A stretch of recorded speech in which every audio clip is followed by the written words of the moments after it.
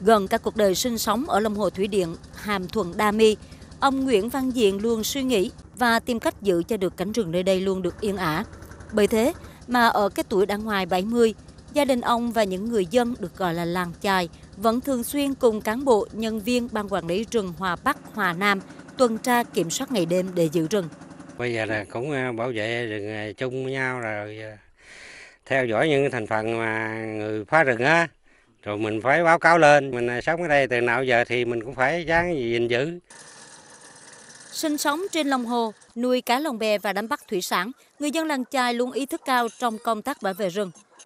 Nhiều năm qua, những người dân làng chài ở xã Hòa Bắc huyện Di Linh được giao khoán quản lý bảo vệ rừng đã không để mất một cây gỗ nào.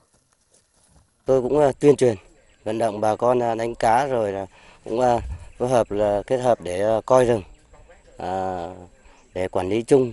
và cũng ờ, tuyên truyền là không ờ, được chặt phá cây rừng ờ, khai thác lâm sản rồi đánh bắt động vật rừng trái phép. Là hội dân dưới làng trài dưới hồ này á, đã nêu cao tinh thần trách nhiệm và thực hiện rất là tốt trong công tác quản lý bảo vệ rừng, thường xuyên phối hợp với đơn vị và có những tin báo kịp thời để đơn vị chấn áp các đối tượng như lâm tặc. Làng chài hiện có 15 hộ dân sinh sống, được hình thành gần 20 năm nay từ những người dân ở các tỉnh miền Tây đến sinh sống và chọn lòng hồ thuộc xã Hòa Bắc Hòa Nam, huyện Di Linh để lập nghiệp. Nhờ cần cù lao động cùng với sự giúp đỡ của chính quyền địa phương, ban quản lý rừng Hòa Bắc Hòa Nam hiện nay, người dân làng trài đã có cuộc sống ổn định bên cạnh những cánh rừng xanh mát.